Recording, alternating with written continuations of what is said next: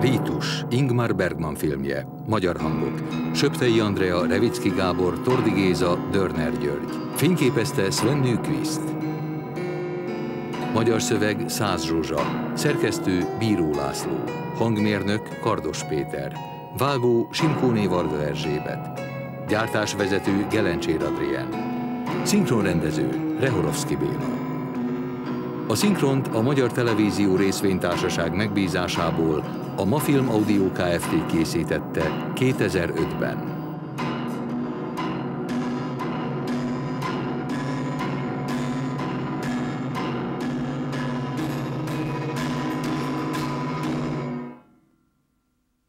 Első jelenet egy kihallgató szoba.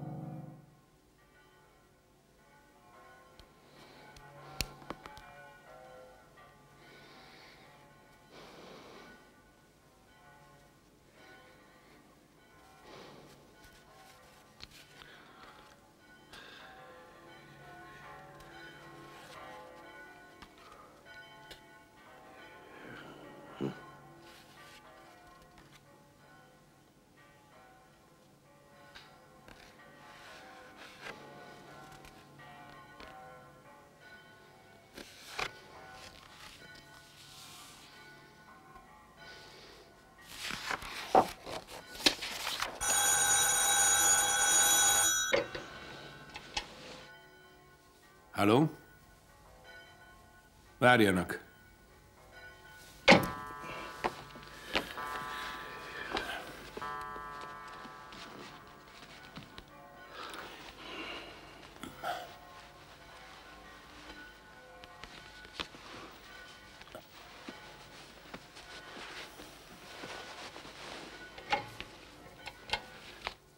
Engedje be őket. Jó napot kívánok. Jó napot. Jó napot. Kérem, jöjjenek bejebb. Köszönjük.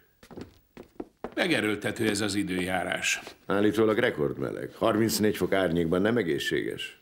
A tegnapi viharnak sem volt semmi értelme, bár utána ömlött az eső. Megszakítottuk az előadást. Kétszer is. Nem volt áram. Furcsa érzés, mikor egy nagyvárosban történik. Vidéken sokkal gyakoribb. E, igen. Pánikszerű. Kérem, foglaljanak helyet. Köszönjük. Kérnek valamit inni esetleg? Konyak, egy csepp whisky, egy kis sherry, vasárnap csak ebben szolgálhatunk. A felségem biztos szeretne egy kis jeges kólát, nem érzi jól magát. Kegyetlen ez a meleg. Én egy sherryt iszom, szükségem van rá. Hallom, az édesapja hirtelen... Igen, pénteken. Nagyon hirtelen. Gyorsan történt. Irigylése méltó. Irigylése. Lehet, hogy igaza van, Ritter úr. Elnézést, Fischer úr. A serjét látva lehet, hogy meggondolom. Örülök neki. Ön nem kér semmit, uram? Ha kapok egy poharat, akkor iszom té a kólájából. Jut magának is saját üveg, az állam fizeti. Ez esetben megköszönöm. Kedves, hogy feláldozzák a vasárnapjukat. Kedves öntől, hogy tud bennünket ma fogadni. Önnek is vasárnap van. Egészségükre. Köszönjük. Nálam nincs vasárnap és hétköznap. Munkamánia. Aha. Az orvosom már szólt. Az ember elmúlt ötven, akkor meg ilyenek. Ha volna egy szerető asszony, aki finom vacsorával és meleg papuccsal vár otthon. De nem rólam kell most beszélgetnünk, bár az is nagyon kellemes. Hová utaznak innen? Úgy tudom, most Lengyelországban voltak. Pár hét Hollandia, aztán egy hosszú turni a távol-keleten. Értem, mennyi időre? Fél évre. Ah, nem válik egy hangúvá? Vagy meg lehet szokni? Igen, meg lehet szokni. Hát kérdezzem meg. A papírokból látom, hogy mindhárman svájci állampolgárok. Már öt éve Aszkónában lakunk, a szabadságunk alatt és a turnék között. Kényelmesebb így. Aha. Hiába próbáltunk utána nézni az utóbbi három év bevételeinek. A svájci hatóságok rendkívül, hogy is fejezem ki magam, rendkívül diszkrétek. Megbízásomból a munkatársam körbe telefonálta azokat a helyeket, ahol felléptek, és ennek alapján a becsült bevételük évi két millió dollár. Elnézést a kíváncsiságomért, hisz a bevételeik nem tartoznak szorosan az ügyhöz. De én szeretnék minél több adatot tudni, remélem megértik. Na és itt van ez a gyorshajtás is. A holland rendőrség Anhem és Nijmegen közötti szakaszon érte utol önöket. Állítólag jótékonysági ünnepségre siettek és késésben voltak. A rendőrségi jelentés szerint 160-nal mentek. Ahogyan jeleztük, késésben voltunk. Igaz, szerepel is a jelentésben. A feleségem rosszul volt aznap reggel. A jelentésben az áll, hogy Winkelmann asszony ittasolt és szidalmazta a rendőröket. Továbbá levetette a ruháját, és idézem, szemérmetlen mozdulatokat végzett. Küldtünk orvosi véleményt. Így igaz. Az orvos szerint Winkelmann asszony egy sajátos epilepsziában szenved, amely a gyógyszerezés hatására bizonyos pszichés tünetekkel jár. Úgy, úgy, úgy éreztem, megfulladok. Értem. Minden esetre a holland rendőröket jól meglette. Nos, odaértek a rendezvényre? Az igazat megvalva nem jótékonysági rendezvény volt. Egy barátunknak kastélya van Liège mellett. Ott léptünk fel egy előadáson, politikusok és üzletemberek előtt. A jótékonyság csak kiszaladt a számon. Butaság volt. A jelentés is megemlíti ezt a kis ellentmondást. Az igazsághoz tartozik, hogy a gázsink háromnegyedét jótékonysági célokra ajánlottuk fel. Tényleg? Erről nem is tudtam. Fel is jegyzem. Nos, hát ezek csupán semmiségek. Soha nem volt szabálysértésem. Ez nem igaz. 56-ban átment a piroson Flensburgban. Sajnálom, elfelejtettem. Hát tényleg sajnálatos.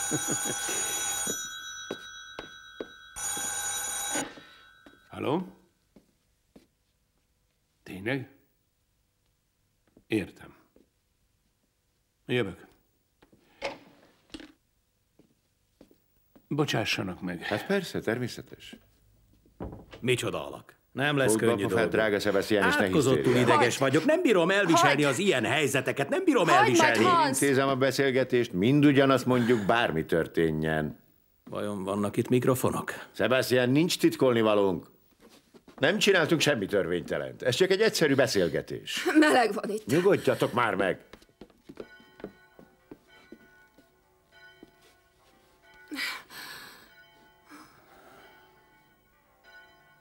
Egy élő lélek sincs az egész utcában.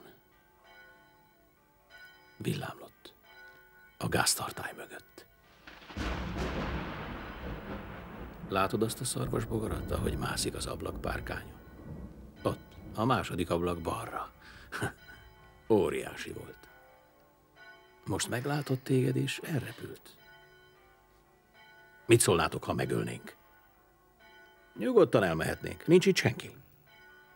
Hans majd vigyáz ránk, igaz? Ő a főnök. Ő oly gyengéd, oly figyelmes és ördög ilyen okos. Egyfolytában beszélsz. Reggel óta bujkál bennem a rettegés. Itt van belül, a szív alatt. Csak sírnék meg, inni. Tegnap is részeg voltál. Hogy, hogy is? Miért? Most is részeg vagyok? Francba, hogy mindig vádolnod kell valamivel. Ne vádolj! Nem úgy értette. Második jelenet egy szállodai szoba.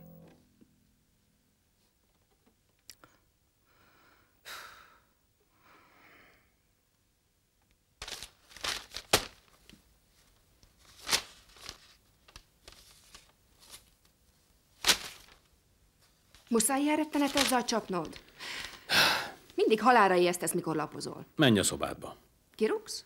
Nem, csak annyit mondtam, hogy ha zavar, ahogyan olvasok, átmehetsz a saját szobádba, semmi más nem mondtam. Tényleg nagyon utállak. Én is téged. Nem kellene felkelned? Tízig oda kell érned a bíróhoz. Ne aggódj, odaérek. 90-as nem borotválkoztál, nem mostál fogad. Te sem mostál. Mi között hozzá? Van közöm. Rossz a leheleted reggel. Borzasztó szájszagod van. Nincs más vágya, mint egyedül aludni. Csak hogy te nem tudsz aludni, ha nem fekszem melletted. Iván Portner meghalt. Ne! Mi? Itt van. Iván Portner, 50 éves, hosszú betegség után Stuttgartban. Szerencsétlen. Tüdőrák és daganat a nyelőcsőben. Kétszer is megoperálták. Februárban találkoztunk.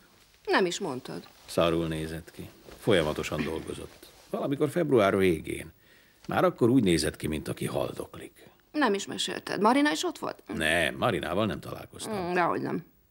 Azt mondtam, hogy nem. Találkoztatok, hogy megcsaljátok a haldoklót. Mondom, hogy nem találkoztunk. Dehogy nem, Svájcban, két turné között, és találkoztál Marinával. Ne erőlködj, nem hiszem, hogy féltékeny lennél. Csak rossz kedvű vagy. Tudom, hogy találkoztál Marinával. Hat hónap is lejár a szerződésem. Akkor végre szakíthatunk. Te meg én, meg Winkelmann úr. Sebastian nélkül kell boldogulnotok.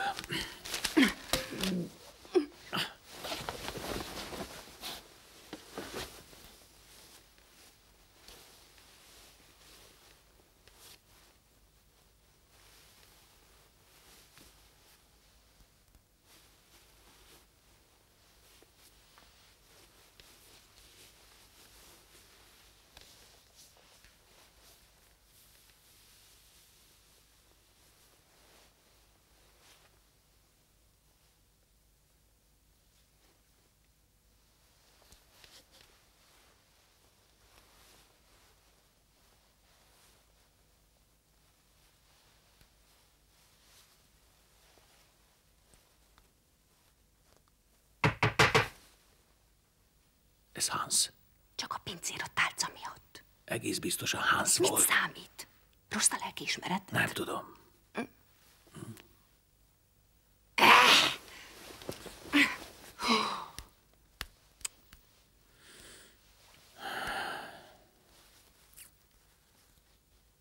Furát álmodtam. Mentem az utcán, és tudtam, hogy hétfő van. Hirtelen eszembe jutott, hogy az iskola elkezdődött, és én nem vagyok ott. Nagyon megijedtem. Jó, Istenem. Untatlak? Nem, nem, dehogy is.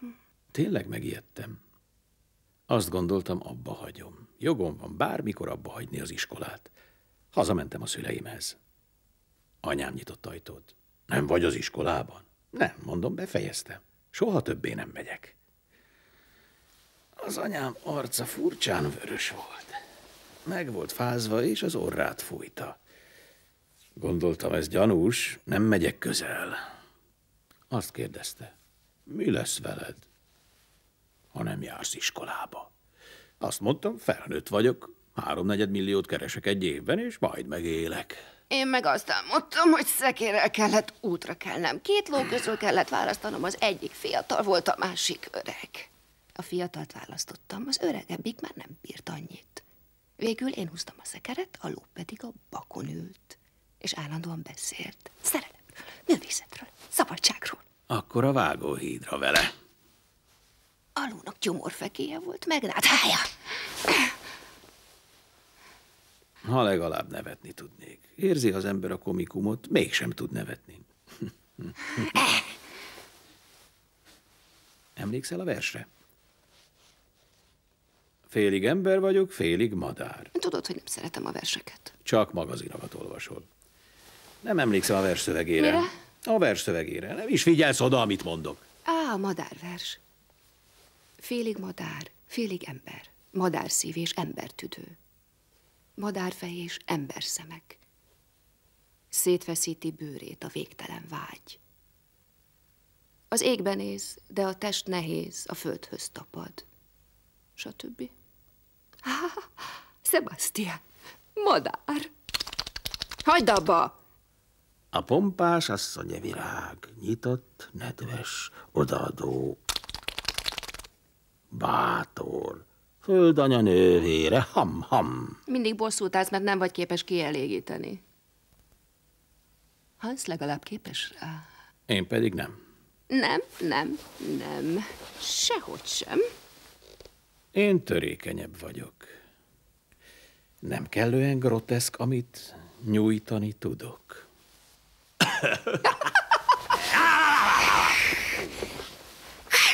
Hallgass meg, mit mondott nekem egyszer egy pszichiáter. Azt mondta, te nem vagy szilárd anyag. Te csak mozgás vagy. Átfolysz másokon, mások meg rajtad. Semmi sem állandó. Ezt tanuld meg, ha meg akarsz gyógyulni. És még azt mondta, a sziget a folyóban a közelgő halál jele. Egyre több sziget lesz. Kiemelkednek az áramló sötétből. Egy nap megfojtják a folyót. A szigetek. Neked négy férfi kellene.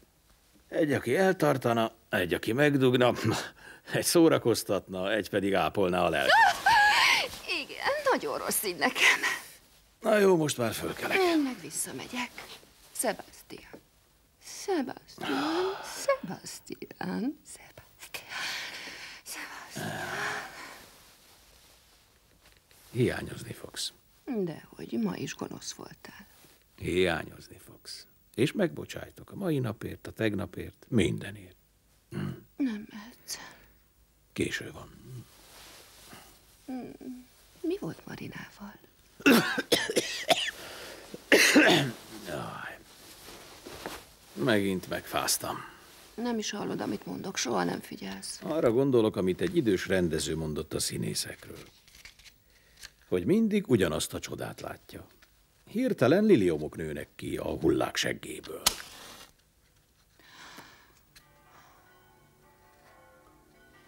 Istenem, könyörülj meg rajtam.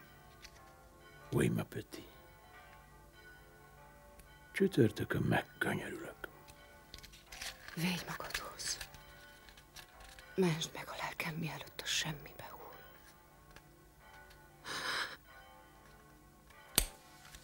Mm.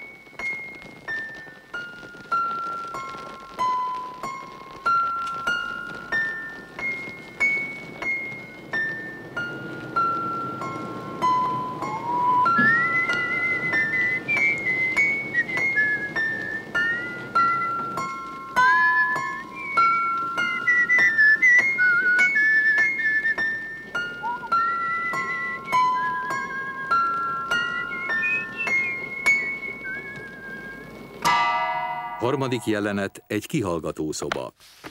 Meg vagyok fázva. Fáj a torkom, és az egész testem fáj. Fáj a szemem is. Megbocsát, de rettenetes hasmenésem van. Rendkívül indisponált vagyok, egész éjszaka nem aludtam. Azon voltam, hogy telefonálok, és lemondom ezt a találkozót. Este fellépésem van, és az minden másnál fontosabb. Szóval legyen hozzám kíméletes. Először kitöltünk pár nyomtatványt. Nyomtatványt, ez fenyegetően hangzik. Az ön teljes neve? Albert Emmanuel Sebastian. Családi név? Azt hittem tudja. Németül írja, vagy angolul? Fischer, eredetileg németesen, de az apám, aki 34-ben kivándorolt, angolra változtatta. Apám szülei zsidók voltak. Anyám holland, régi művész család, Wallendorf. Nem tudom, ismeri? Nem igazán. Nem. Van egy híres Wallendorf cirkusz. Sajnálom. Nem baj. Két nagybátyám vezeti. Apám zenész volt, mint a nagyapám. Tehetséges volt. Sajnos sokat ivott. Végül beteg lett. Halucinálni kezdett, de ez nem tartozik ide. Ön házas? Már több éve elváltam a feleségemtől. Az előző feleségem régész professzor Kajróban élő olasz. Ön nem vált el, csak külön él a feleségétől. A vállás az más. Mindegy, elnézést. Miért kérdi, ha úgyis mindent jobban? Csupán formaságok, gyorsan túl vagyunk rajta, nem fogom feltartani. Köszönöm, kedves. Most pedig beszélgetni fogunk a sebb helyemről, igaz? Lényegtelen. Önt elítélték nem szándékos emberölés büntettében. Önvédelem volt. Közeli barátja volt, igaz? A partnerem volt. Négy évig.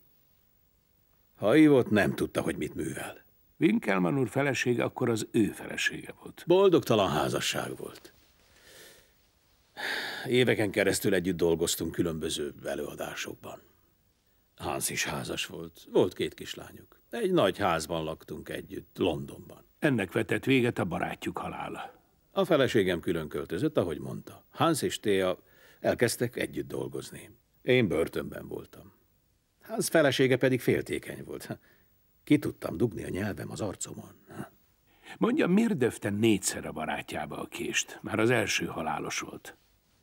Összefügg ezzel az ügyjel? Nem, kíváncsiságból kérdezem. Őszintén nem tudom. Jó érzés volt. Emlékszem, átöleltem.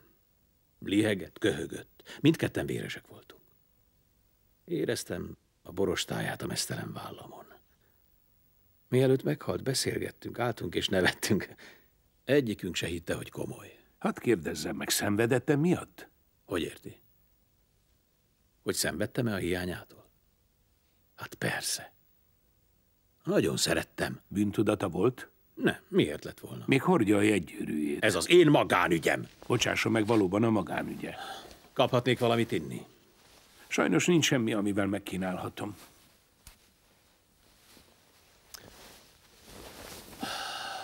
Hány gyereke van? Nem tudom. Nem tudja. Tényleg nem tudom megmondani. Soha nem számoltam meg. Eltartok párat, azt hiszem négyet vagy ötöt. De ezt az ügyvédem jobban tudja. A családunkban csak két vetélés volt. Nos, akkor talán beszélgessünk magáról az ügyről. Ez a szám, vagy nem is tudom mi, az önkitalációja? Kitaláció? Hogy maga milyen kibaszott nevetséges azzal az átkozott önérzetével, a kispolgári kíváncsiságával, a tapintatlanságával, a műveletlenségével. Tudja, mit vettem észre? Ön nem tiszta, Abramson úr. Valami baj van a higiéniájával. Az arcesz friss illata mellett érezni lehet valami savanyú, zsíros szagot. Biztosan minden nap cserélinget, de a vakítóan fehér innyak felett határozottan látni a koszcsíkot. A körme sem tiszta. Megvetem magát. Megvetem magát. Felfoghatatlan számomra a buzgósága. Nem rossz érzés három világhírű művészhez dörgölözni, igaz? Együtt szerepelhet velünk az újságban. Jó érzés lehet a diszkréció leple alatt idióta és megalázó kérdésekkel kínozni bennünket.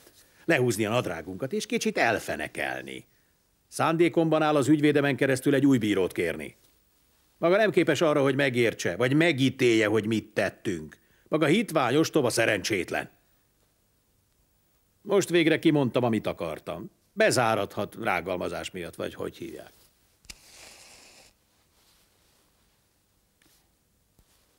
Fáj, hogy ennyire visszataszítónak érzi a személyemet.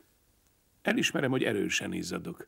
Már több specialistát felkerestem a problémámmal, az anyagcserémmel van valami. Meg tudom érteni, ha zavarja, mármint a szag. De az, hogy én koszos lennék, azt nem tudom elfogadni. Nincs még egy ember, aki annyit fürdik, mint én. És az, hogy koszcsík van a nyakamon, az nem igaz. Nyári barnaság, pigmentáció, ami esetleg különösnek tűnhet. Azt mondja, hogy kispolgár vagyok. Nem tudom, az vagyok-e, ez tágfogalom. A szüleim jómódúak voltak. Apám jogász volt, anyám tanárnő. Öten voltunk testvérek, és állítom, hogy jó nevelést kaptunk. Mindent megpróbáltam, hogy ne bántsam meg önöket, lehet, hogy túl diszkrét voltam. Rögtön éreztem az ön részéről az ellenszenvet, Fischer úr, és ahogy említettem, ez fáj és elbizonytalanít. A történtek mindkettőnk számára megrázóak voltak, ezért azt javaslom, búcsúzzunk el. Kívánom, hogy mielőbb gyógyuljon fel a megfázásából, este pedig megnézem az előadást. És ne gondolja, hogy foglalkozom az ön kifakadásával, el is felejtettem. Megbocsátottam, meg tudom érteni az indulatait. Viszlát, Fischer úr! Kitalál egyedül, vagy kérjek meg egy őrt, hogy segítsem? A folyosón egyenesen, majd a végén jobbra forduló, ott találja a liftet. Onnan már nem lesz gond. Viszlát. Maga nem csupán egy rosszagú, visszataszító ember. Ráadásul pocsék színész. Amit az utóbbi pár percben előadott, a legundorítóbb volt, amit valaha átéltem. Maga kegyetlen, amorális, veleig rohadt. A magához hasonlóknak nem is volna szabad élniük. Végtelenül zavarba hoz Fischer úr, nagyon kérem. Teljességgel hiányzik belőlem az agresszivitás. Csupán elfog a tökéletes tehetetlenség. Kérem, menjen. Menjen így el. Van. Boldogságos bizonya, így kell lennie, láttam. Innen már nincs visszaút. Nincs, nincs senkim. Nincs miért élnem. Nyugodjon meg, nem nyúlok magához. Gusztustalan volna. Üljön le. Üljön le! Még megnyugszik. Áthozott hőség! Elmesélek egy produkciót, amit Hans Winkelmannal együtt adtunk elő. Egy férfi bemegy a rendőrségre. A kapitányt keresi, furcsa dolgot akar bejelenteni. Na mégis mit? A következőt. Hogy hirtelen mindent elsőprő étvágy fogta el. Felfalt a feleségét, a segédjét, a gyerekeit, a vén nagymamát. Délután egy szakállas férfi jött be a boltjába, maga Isten. Levágott egy szeletet Istenből, és megette. Majd erős késztetést érzett arra, hogy szarjon. Utána elment a rendőrségre. Nyugalom, mindjárt vége. Leemeli a koponyáját, amit a szeménél ketté fűrészelt, és a meglepett rendőr látja ám, hogy belül üres. A koponyája üres. A torkánál van egy zsinór, amivel a személyát mozgatja, de csak ennyi. Most már megnyugodott, akkor megyek, hogy ne legyen közöttünk semmilyen viszony. Viszlát! Még egy kérdés. Felekezete? Nincs hitvallásom. Nem tartozom semmilyen Istenhez, megváltóhoz, örök élethez. Magam Istene vagyok. Megvannak a saját angyalaim és démonaim. Egy köves parton állok, ami egy védelmező tenger felé hullámzik. Egy kutya ugat, egy gyerek sír. Lemegy a nap, és éjszaka lesz. Nem tud megfélemlíteni. Nincs emberi lény, aki meg tud félemlíteni.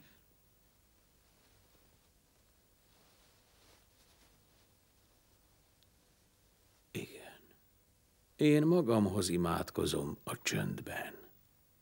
Jöjjön egy szél, ami felkavarja a tengert és a fullasztó alkonyt. Jöjjön egy madár a víz felől. Robbantsa szét kiáltásával a csendet.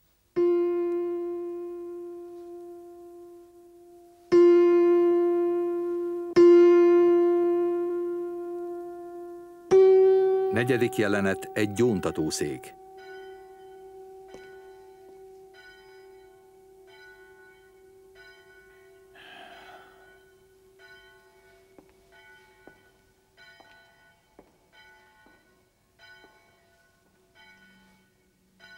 Atyám, nem gyónni jöttem, beszélnem kell valakivel. Hallgatom. Úgy érzem, meghalok. Különös, de félek. Tegnap hazafelé kénytelen voltam leülni egy padra. Olyan volt, mintha már halott lennék. Olyan bűzt éreztem a testemből, amit korábban még soha nem vettem észre. De persze, a szokatlanul meleg idő, a rassz szívem. Idősapám halála, pedig tudom, minden változik. De mit is mondok? Össze-vissza beszélek. Az emberek megkegyelmezhetnek, nem igaz? Van evilági kegyelem, de az emberi melegség törékeny körén kívül gonoszság van. Örökkön, örökké. Belátás. Isten. Belátás. Tudom, hogy atyám nem nevet ki. Valószínűleg találkozott a jelenséggel a hivatása során. Tudja, hogy a nem hívő emberek is imádkoznak. Mint én. Enyhíti a rettegésemet.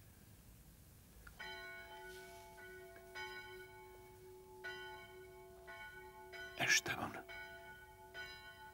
Sötét van. És én félek.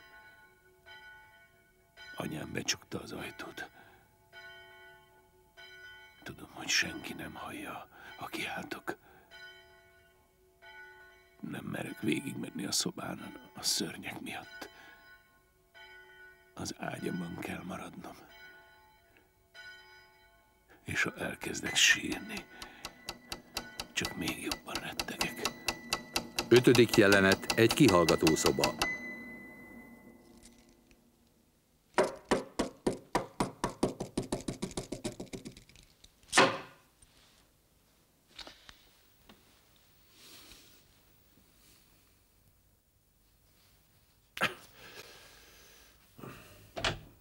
Elnézést, kedves Winkelmann úr, mennyit kellett várnia? Két órát? Nagyon sajnálom. Halom nem kapta meg az üzenetemet. Ahogy észrevettem, hogy késni fogok, azonnal hívtam a titkárnőmet, de ő azt mondja, ön nem volt a szobában. Lehet, hogy akkor pont nem. Igen, minden esetre sajnálom. Ön biztosan tud róla, hogy beszélgettünk Fischer úrral. Nem állítom, hogy jól megértettük egymást. Nem tudom, mit követhettem el, amivel megbántottam a kollégáját. Fischer úr érzékeny, jelenleg sokat betegeskedik, különböző fertőzésekkel kínlódik, attól ideges. Értem. Nagyon szenvedettől az ügytől. És ön? Kedves Abramson úr, engem már nem idegesít semmi a hivatásommal kapcsolatban. Megteszem, ami tőlem telik. Magától értetődőnek tartom, hogy megvizsgálják ezt az ügyet. Amennyiben bűnösnek találnak, a büntetés is megoldható. A büntetés összegét már elhelyeztük a megjelölt bankban, a többi formaság. Örömmel hallom a véleményét. Azonos a kiinduláspontunk.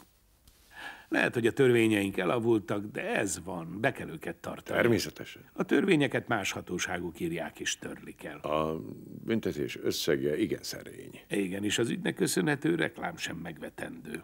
Nem kizárólag százalék alapon dolgozunk. Nem?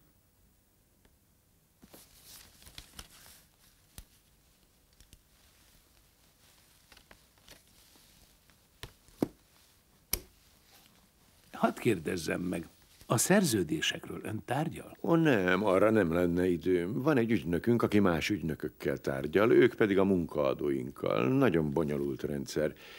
Én a fellépéseink feltételeiről tárgyalok Yusuf Hérosszal, az ügynökünkkel. Természetesen egyeztetek a társaimmal, mielőtt intézkednék.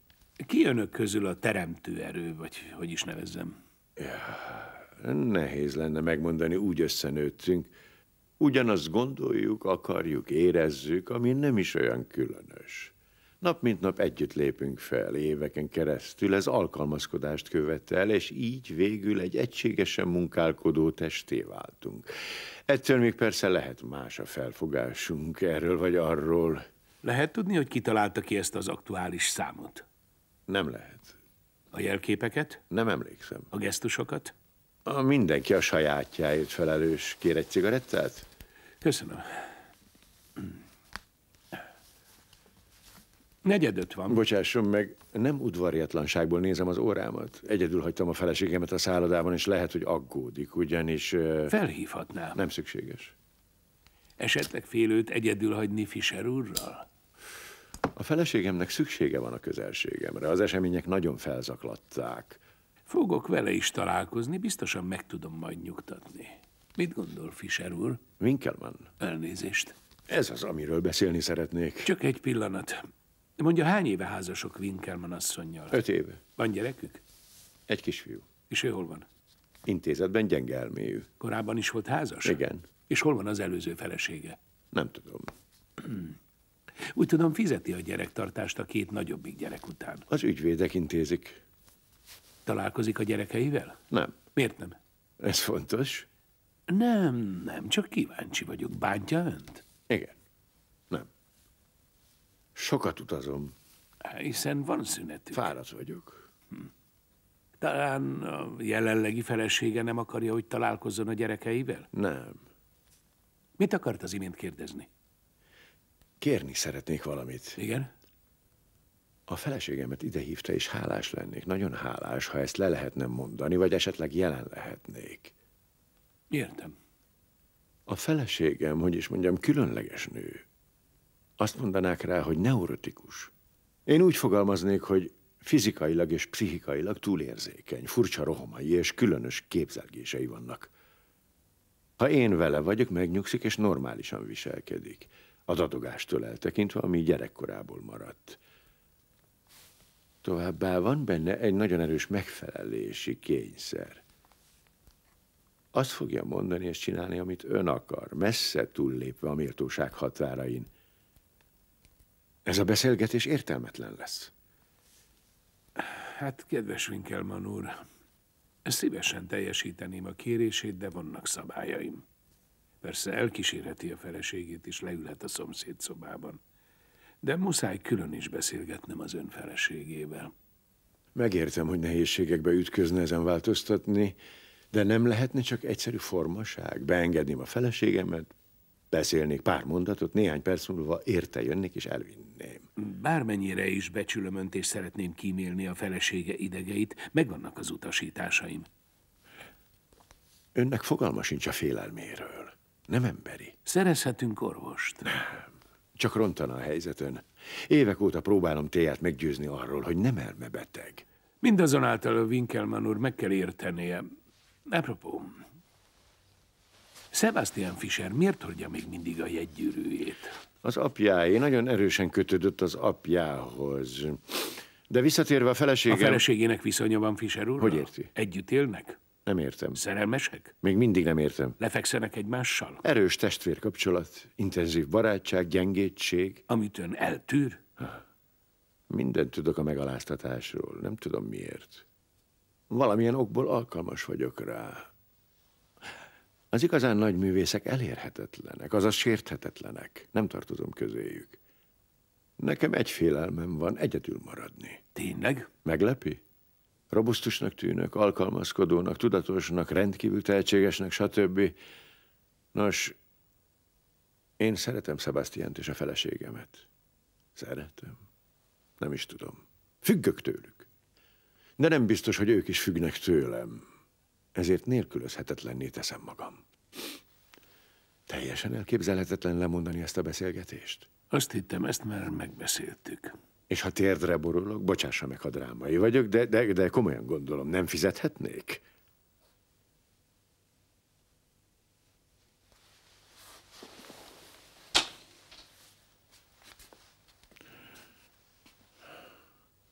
Mennyit akar fizetni? Mondjon valamilyen észszerű összeget, kifizetem akár most. 50 ezer?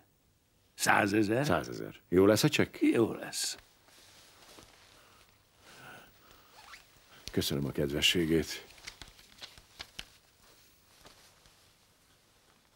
Ön igazán nagyon megértő.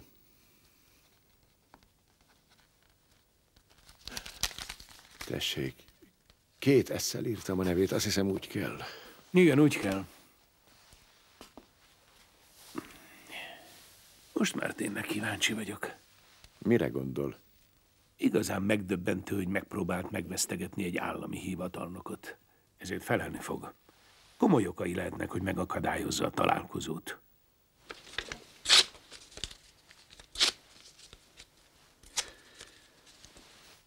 Mi már végeztünk, Winkelmann úr. Talán holnap találkozunk, ha eljön a feleségével. Hálás vagyok a nagyvonalúságáért. Most már érdekel, nem rejte valami veszélyesebbet az önök ártatlan mutatványa. Azt nem hiszem. Viszlát, Winkelmann úr. Viszlát holnap este. Nyitva van még a kapu? Leszólok a portásnak. Viszlát.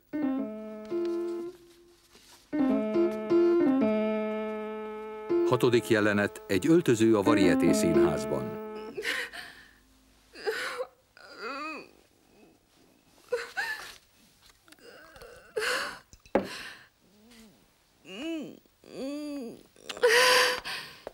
Még itt ülsz? Most meg mi bajod van?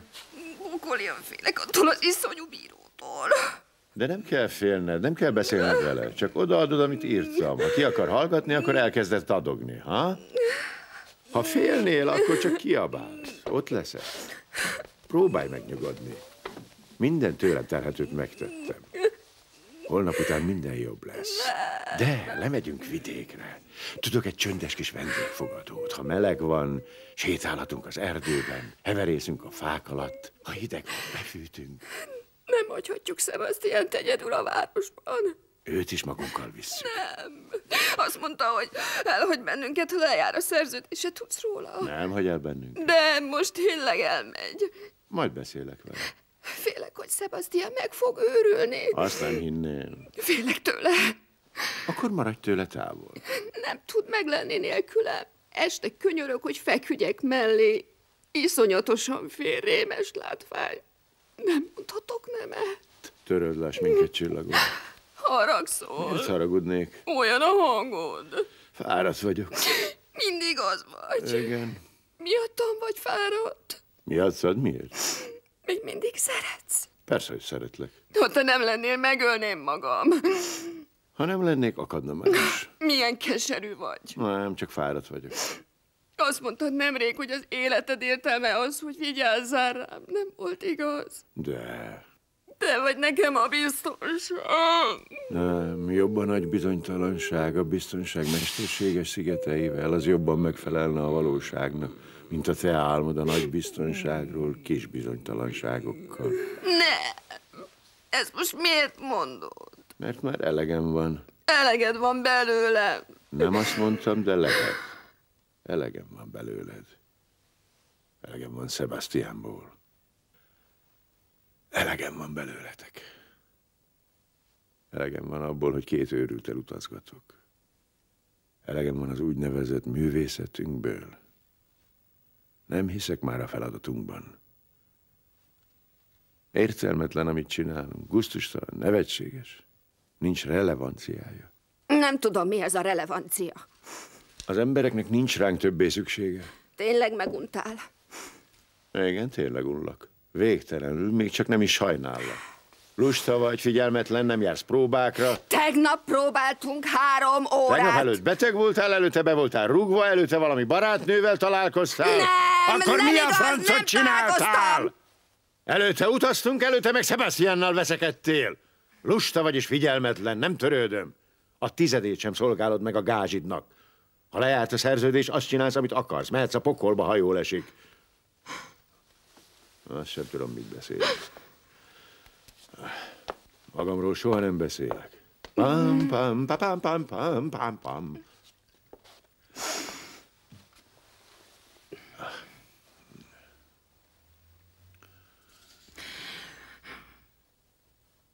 És mégis szeretlek. De.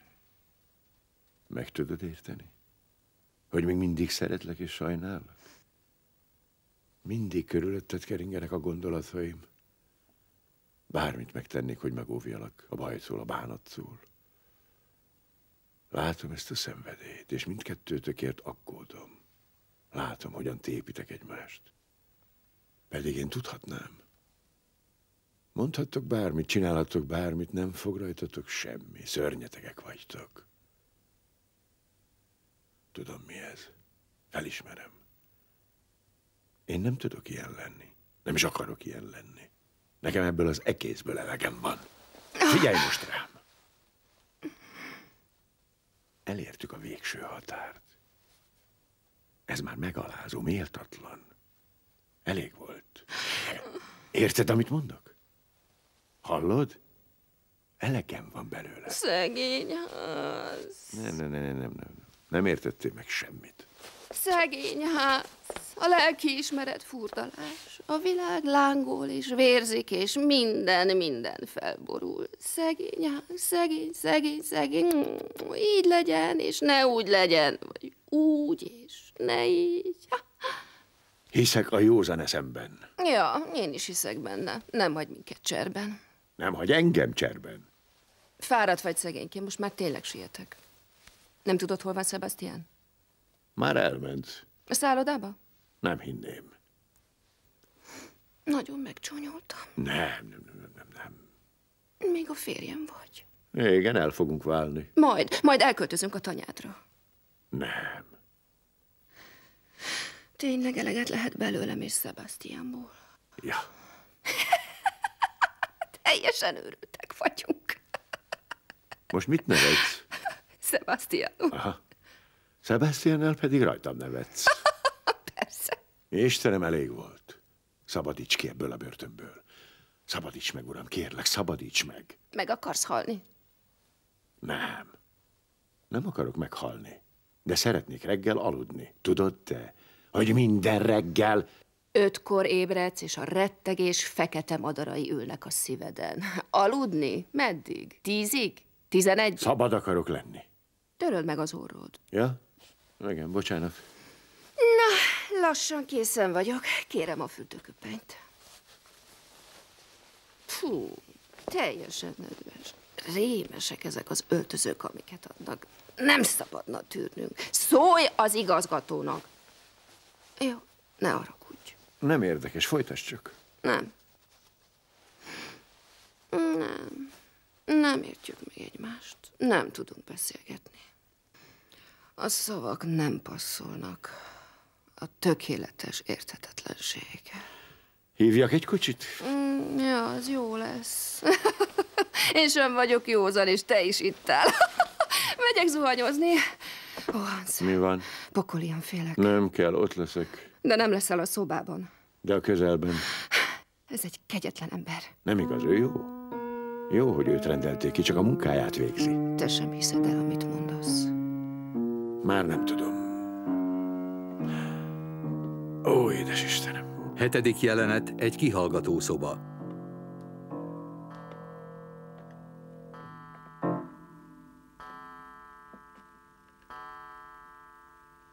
Jó estét, Finkelmanné.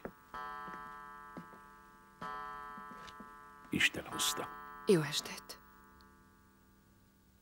Na most leülünk és beszélgetünk egy kicsit. Biztosíthatom, hogy nem fog fájni. Ebben biztos vagyok. Rendkívül szép a ruhája. Örülök, hogy tetszik. Megbocsátja, a beszélgetés közben jegyzeteket készítek? Természetesen.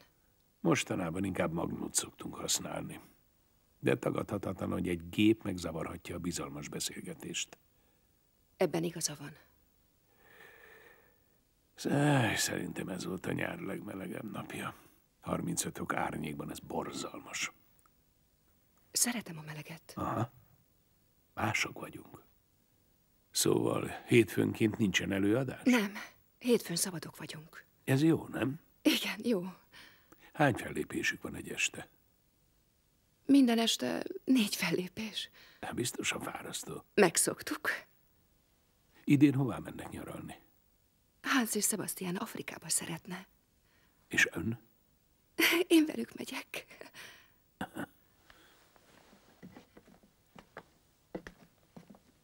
Ritkán vannak otthon. Aszkónában nem sok idő marad a magánéletre. Azért ügyelünk arra, hogy legyen pár hét a turnék között. Ilyenkor Sebastian Fischer önökkel lakik? Igen, Csodálatos dolog lehet ilyen szent háromságban élni. igen az. Szeretve lenni. Igen. Semmi konfliktus? Kezdetben voltak nehézségek. A férje szerint ön félt a találkozásunktól, pedig kellemesen el vagyunk, igaz? Azt hiszi, hogy érzékeny vagyok. Kér valamit inni? Igen, köszönöm. Ha megfelel, van egy kis bor, más most nincsen. Bármi megfelel.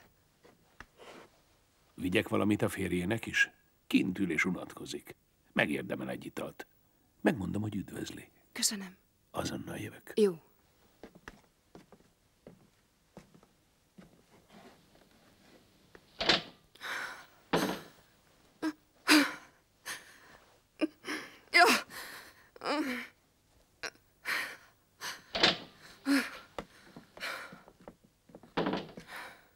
A férje üdvözli, ide két méterre ül, a jogi évkönyvet olvassa, aggódik, de én megnyugtattam.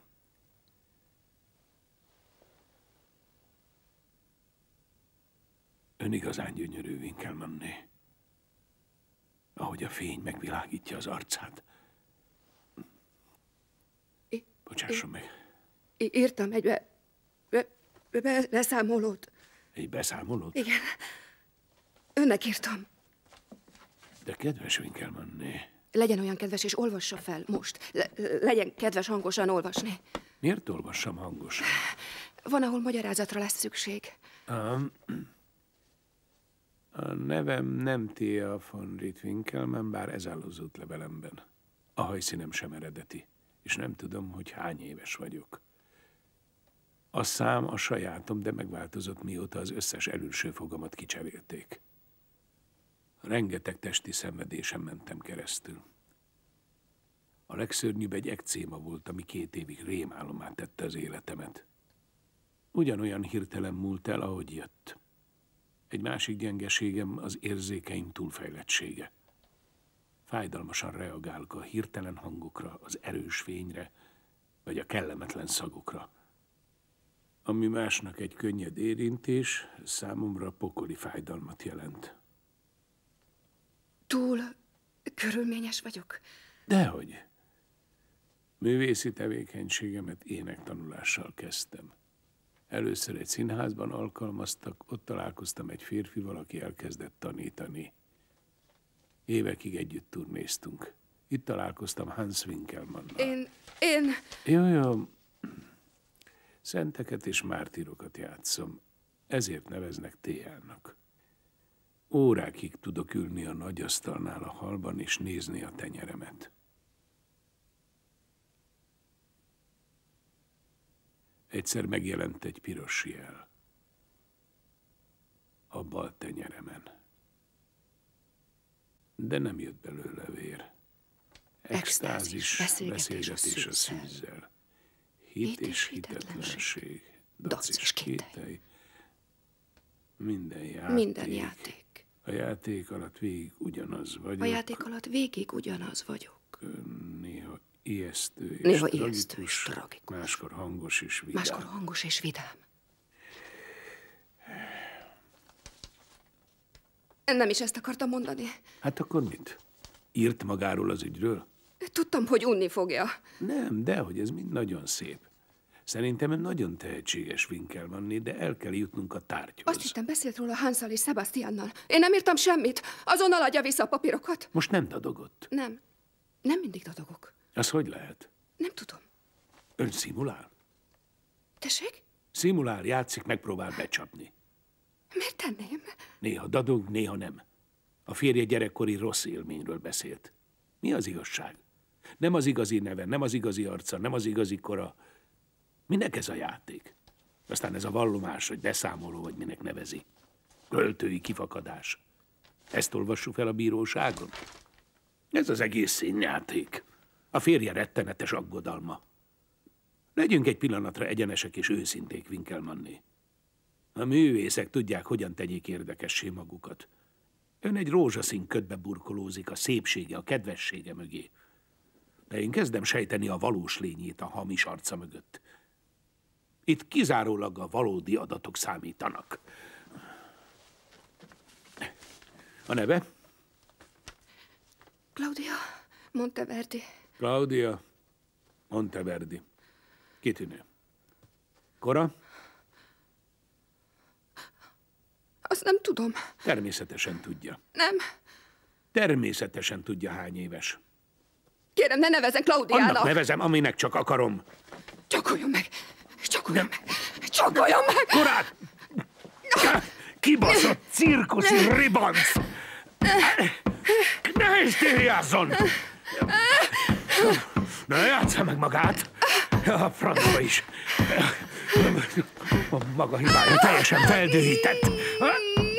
Ne csinálja! Nagyon kérem!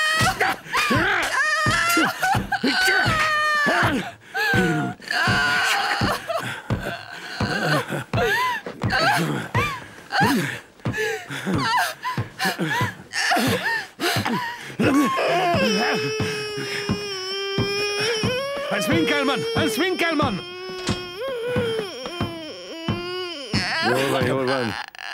Hirtelen rohama lett. Csak nyugodtan beszélve. Hallottam, hogy kiabált vele. Honnan tudjam, hogy nem szimulál? Én, én nem akartam semmi rosszat. Lehet, hogy csak szimulál. Honnan tudjam? Hívna egy taxit? Be kell vinnem a kórházba. Elviszem magukat. Köszönöm, nem kell. Megtiltom, hogy taxival menjenek. Hívok egy rendőrautót. Én is magukkal megyek, és mindent tisztázunk. Két orvost fogok kérni. Őrizetet és kíséretet. Vége a blöffnek, Winkelmann úr. Megpróbáltam jó indulatú lenni, nem sikerült. Ez így sokkal rosszabb mindkettőnk számára. Jó napot! Kérem, küldjenek egy rendőrautót. Itt dr. Abramson beszél. Igen, jól értette, Abramson? Ne, ne, nem, várjanak csak pár percet, és ott vagyunk. Nem, nincs szükség segítségre, elég lesz két rendőr. A kórházba megyünk. Most minden kiderül. Mehetünk? Hozná a táskáját? Nyolcadik jelenet egy bár. A szokásosat? Késtél? Nem mondtunk időpontot. Három órát beszéltünk meg, fél öt van, másfél órája, itt ülök és várok. Legalább elnézést kérhetnél. Elnézést. Nem tesz semmit. Mit akarsz? Beszélgetni. Történt néhány dolog reggel óta, amiről tudnod kell. A hangsúlyodból ítélve csupa rossz dolog. Ó, az attól függ. Nos, Ja, most írt az ügynökünk, hogy a háború miatt lemondták a távol-keleti turnét, és az amerikai turnénk is veszélyben van az átkozott erkölcsrendészet miatt. Az annyi, mint hat hónap nyaralás vagy munkanélküliség. Ez nagy érvágás. Hát, ki tudod számolni? Fél millió fejenként. Kevesebb. Az ügynök nem kap semmit. Akkor csak az olasz út marad. Hm. Ez bosszantó. Nagyon.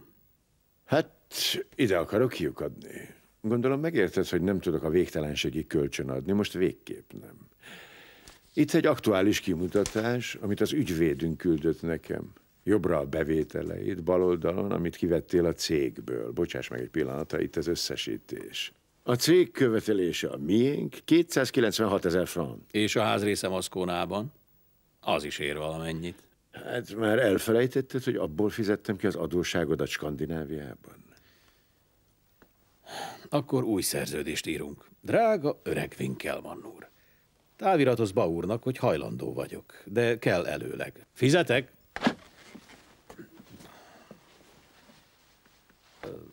Elintéznéd, kérlek. Eladjuk a svájci lakást. Jó lesz? Mennem kell, sietek. Van még itt pár apróság. Ez rosszul hangzik. Kaptam egy levelet Yusuf Hérosztól, hogy egyre nehezebb bennünket eladni ezekkel a magas gázsikkal. Két dolgot javasol. Egy, hogy dolgozzunk külön, vagy pedig menjünk lejjebb körülbelül kétharmaddal. Ő az elsőre szavaz. Nekem így is jó. Én már úgyis lassan abba akartam hagyni. Kérdés, hogy Téa és te mihez kezdetek? Én már beszéltem vele. Szerintem itt az ideje, hogy ti is végre beszélgessetek a jövőtökről. Téa és én. Te és Téa? Szerintem érdekes kombináció lenne. Persze rendesen kellene dolgoznatok. Új számok kellenek. Legrosszabb esetben Téa vetkőzne. Tudok egy jó tanár, te is ismered, Sarah Ne Frankel. viccelj. Nem akarok beleszólni. Semmi közöm hozzá. Ja igen, van még valami. Túllépted a hitelkeretedet 12 ezer koronával. A bank hívta az ügyvédedet, de ő nem akar veled beszélni, vagy te nem beszélsz vele. Megkért, hogy én beszéljek veled. Van még valami? Igen. El kellene döntenünk, hogy kifizesse ki Téa szállodaszámláit. Te, vagy én, vagy ő maga. Ezt én nem értem. Mindig azt mondja, hogy maga fizeti. Ez nem egészen igaz. Állandóan tőlem kér pénzt, nem nagy összegeket, de azért jobb lenne tisztázni, hogy ez kinek a dolga. Te vagy a férje. Ja, tényleg. Akkor megegyeztünk abban, hogy a továbbiakban én fizetem a szállodaszámláit. Megtennéd, hogy ezt finoman közlöd vele? Csak mérges lenne, ha én utalnék bármi ilyesmire. Abban a hitben él, hogy maga intézi az ügyeit, méghozzá remekül. Majd beszélek vele. Kedves tőled. Ja igen, telefonáltak a műhelyből, hogy készen van a kocsid, nem értek el, nekem szóltak. Köszönöm, majd érte megyek. Ja, egy kedves szerelő szólt, hogy két éve nem fizetsz kocsi adót. Ebből még bajod lehet. Igen, ezt én is tudom. Van még valami? Hm, Ja, Megnézem a listámat. Azt mondja, hogy ja, nem. Nem. Azt hiszem ennyi. Hogy vagy? Szarul. Veszekedtek? Nem nevezném veszekedésnek, inkább valami színi előadás. Egyszerre vagyunk nézők és színészek. Végtelen színjáték. Értem. Azt mondja, hogy nem tudom kielégíteni. Hm. Te? Szerinte ebben jó voltál. Hogy csináltad? Ja. Ne próbálkozz gyöngétséggel, attól csak ideges lesz. Dugd be a bal kezed egészen mélyen, közben nyomd a csiklóját erősen, hogy fájjon. Több orgazmusa lesz perceken belül. Aztán megdughatod úgy és olyan hosszan, ahogyan Már megbocsáss, de hogy a francba jöttél rá? Fantázia és kétségbeesés. Nem kellene, hogy elmeséld, hogy mi ezt megbeszéltük. Nem, nem, nem, persze. Nem kell rögtön így csinálnod, ahogy elmondtam. Tégy úgy, mintha fokozatosan jönnél rá, jó? Ne aggódj. Francba is. Nálad nem lehet tudni. Hogyan bírod ki? Nincs vele gond. Szerintem mókás. Úgy is mondhatnám, hogy a korintuszi levelek szellemében szerettem. A szeretet mindent hisz, mindent remél, mindent eltűr. És a többi. Így értetted? Közben eleged van belőle. Ez is igaz. De őt ez nem érdekli. Mi lassan szakítunk. Gondolta? És akkor visszakapod. Köszönöm. Hát te nem vagy épeszű. De szerintem nagyon is van eszem. Fizetek.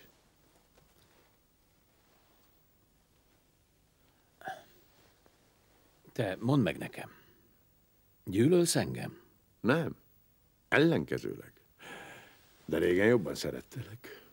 Mielőtt elvettem tőled téát? Hát mielőtt inni kezdtél és lógni a próbákról, régen csodáltalak. Melegszívű, eleven embernek láttalak. Nehéz ezt elemezni. Volt benned valami különleges, ahogy Tiában is volt. Mi volt az? A fény. Hm, mosolyogsz? Nincs erre jobb szó. Köszönöm. A fény. Ez az a fény, amit most téával kioltunk. Na. Telefont várok, az ügynök hív ötkor. Megkérem, hogy hívjon fel, és beszéljetek meg egy találkozót, jó? Te is jelen leszel majd? Hát persze, ha ez neked segítség. Kilencedik jelenet, egy kihallgató szoba. Szerda este van, augusztus 9-e. Reggel megjelent a hivatalban Winkelmann úr és Fischer úr, hogy személyesen beszéljenek velem. Fischer úr meglepett. Teljesen másnak tűnt, mint a múltkor. Az arroganciája és az erőszakossága eltűnt. Kiegyensúlyozott volt, kedves, kisé bűnbánó és nagyon nyílt szívű. Azt javasolta, hogy mindhárman meglátogatnak a szerdai előadás után. Ki lesznek sminkelve és beöltöznek a tiltott számhoz. Bemutatják kizárólag nekem, és részletesen elmagyarázzák, hogyan épül fel és miért ilyen. Szívesen beleegyeztem szerint kérésükbe, hogy más nézők ne legyenek jelen. Jöjjenek be! Jó estét! Bocsássa meg, hogy késtünk, de több utca is le van zárva a felhőszakadás miatt. Nem történt semmi, úgyis dolgoznom kellett. Akkor talán megtennénk az előkészületeket. Nélkülöznünk kell a fénytechnikát. Már szóltam az éjjeli őrnek, hogy ne zavarjon bennünket pár óráig. Vajon milyen arcot vágna, ha meglátná a szeánszot? Nos, hogy van ma? Köszönöm jól. Köszönöm a szép virágokat. Végtelenül megkönnyebbültem, amikor az orvos azt mondta, hogy nincs komoly baj. E, teljesen rendbe jött? Kicsit fáradt vagyok a gyógyszerektől. Remélem nem lesz túl fárasztó a mai este. Nekem ez egyáltalán nem lesz fárasztó. Kicsit dobolok, meg butaságokat beszélek. Elnézést. Ah, feltettek egy bizalmas kérdést. Miért pont ez a szám? Valami könyvben olvastuk. Már nem is emlékszem. Lehet, hogy Hans hallotta még gyerekkorában. Meg akartuk valósítani. Izgatta a fantáziánkat. Elképzeltük, hogy a néző... Nem volt ez Nem, ilyen nem egyszerű. volt ilyen egyszerű. Nevezhetjük könyörgésnek. Mi művészek babonás népség vagyunk. A rítus utáni vágy. Talán önmagában nincs is jelentése. Csak egy vágy. Térdre borulni, és összekulcsolni a kezünket. Egy rituális játék, szellemidézés, varázslás vagy ördögűzés. Nem vagyok a lelki komplikációk tudóra, de biztos van erre is egy latin szó. Dr. Abramson. Ön is érzett gyengeséget. Kélyes vágyakozást a teljes megadásra. Talán, mint gyermek. Mit akar késsel? Nem tudja. Nem, nem láttam az előadást, csak mesélték. Eltehetem, ha fél. Nem, magyarázza el, hogy mit kezd vele. Ez a hólyag tele van borral. Egy adott pillanatban felemelem, aztán beledöfök a késsel. A bor pedig beleömlik az edénybe.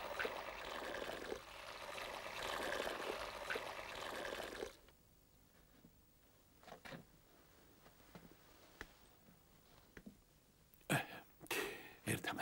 Le kell oltanunk a villanyt. Teljes csönd, aztán a dob hangja a sötétben. Nem kell a fény, hogy jegyzetelhessek. Nem is kell, hogy sötét legyen. Sebastian, elkezdhetjük az előadást.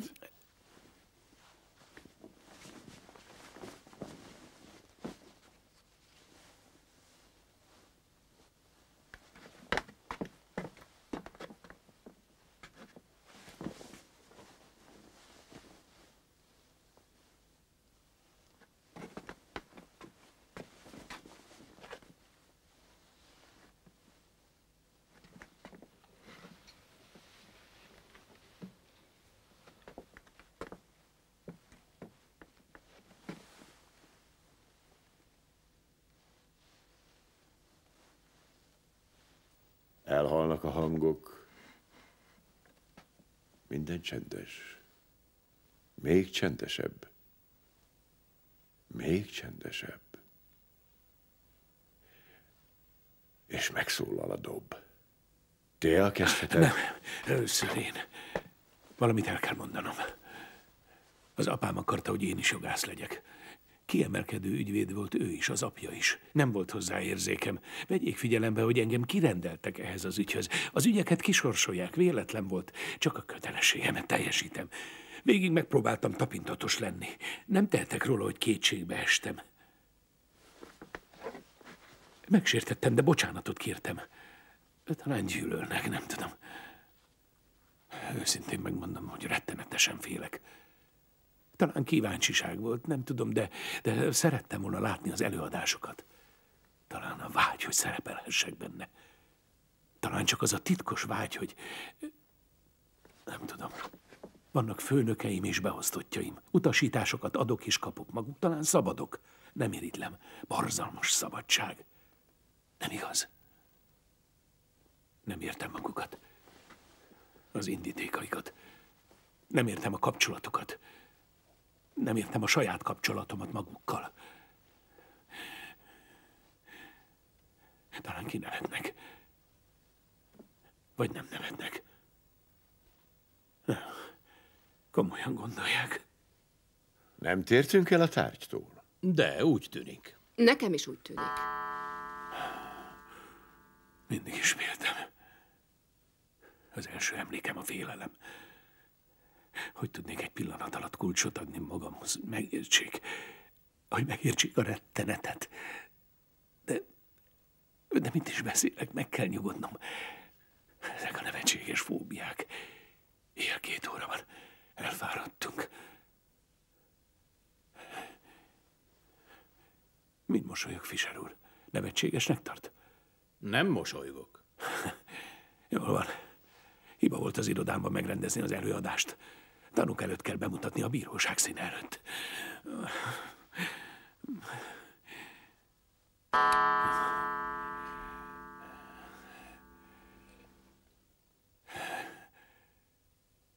Vége a félelemnek. Önök parancsolnak, én pedig szófogadó néző leszek. Milyen tisztelt művészek. Önöknek még soha nem volt lelkesebb közönségük. Fogom a székem, és leülök ide. Remélem, így jó lesz.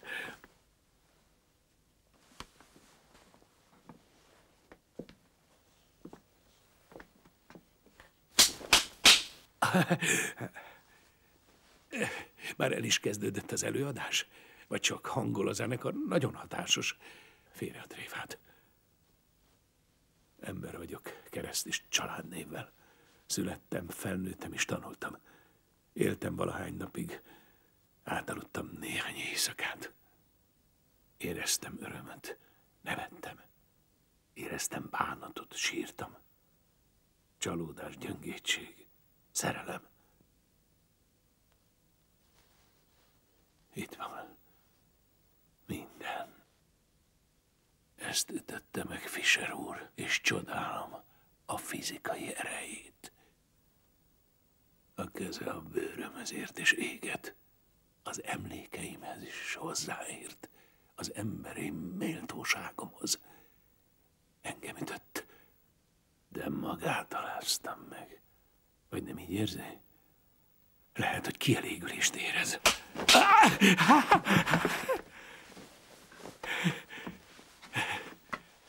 Nézzék meg, hogy remeg a kezem. Sírni szeretnék.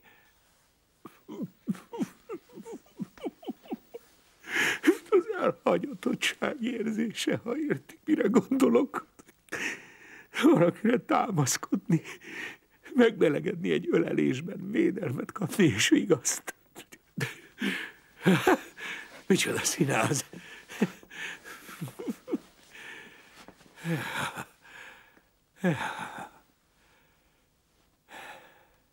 Elismerem,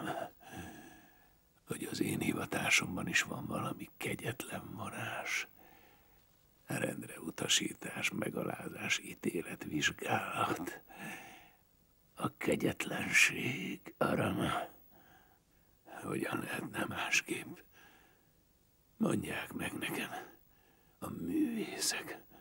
Tudniuk kell. Tudják is. Sebastian Fischer. Claudia Monteverdi. Hans Winkelmann. Kezdjék el az előadást. Folyamatosan kommentálom, amit csinálunk. Tea, aki a magas széken ül, elkezdi verni a dobot. Sötét van. Napfelkelte előtt.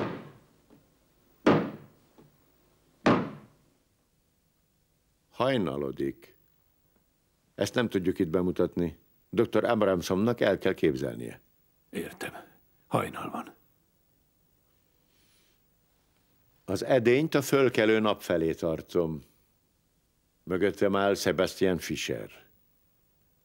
Hajnalban a tenger felől elkezd fújni a szél. Amikor a fény elég erős, egy bizonyos pillanatban Téa egy Isten maszkot helyez az arca elé. Értem. Értem. Sebastian Fischer hátra nyújtja a karját. Megfogja teát, és lassan, nagyon lassan felemeli.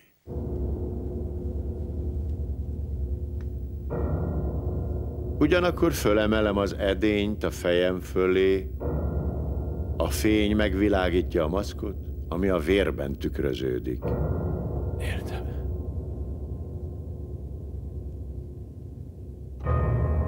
És akkor iszom az edényből. Megiszom a tükörképet.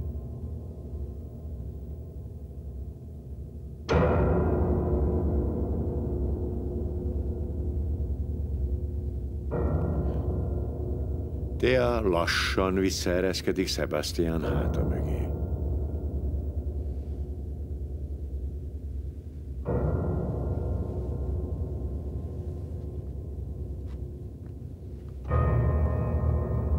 Röviden ennyi a számunk. Értem.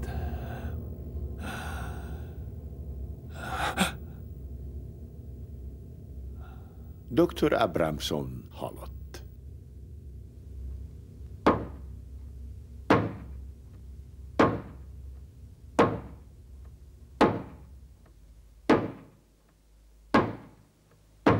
A kiérkező orvos megállapította, hogy dr. Abramson halálát szívroham okozta. Később a három művészre büntetést szabtak ki Rítus című pantomim előadásuk miatt.